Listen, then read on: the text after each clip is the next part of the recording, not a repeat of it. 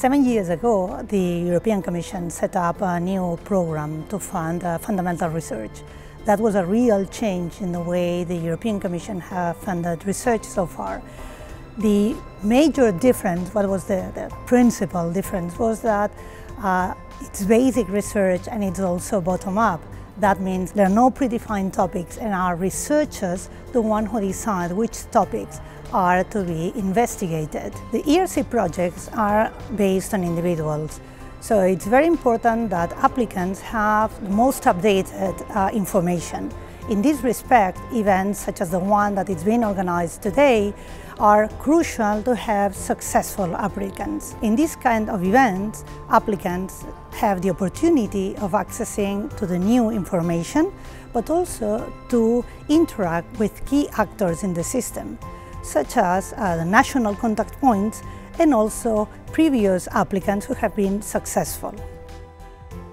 At Spanish level, University Pompeu Fabra ranks second in the list of host organizations. So it hosts 19 grants and it's just behind the National Council for Research that it's much bigger. So uh, it, it, does it remarkably, remarkably well. And what I think it's most, is most important is that it's an example of how to recruit people that can go for these grants.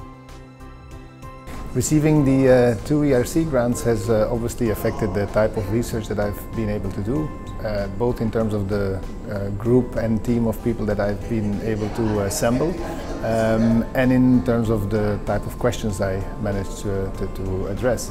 Um, having more and better people uh, that I can hire to collaborate obviously allows me to do more ambitious and, uh, and, and, better research. I found the session incredibly useful. Um, it was uh, useful in at least three different ways. Uh, I think that sometimes people forget psychologically how intimidating this process might be and it, the session really demystifies the process. It makes it you know, very clear and it shows that, as Jan and others said, you don't have to have a Nobel Prize to apply or even get one of those uh, grants.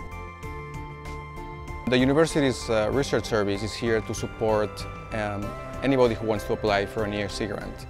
That includes assistance uh, preparing your proposal, your budget, uh, even having mock interviews before you go to Brussels for the actual interviews.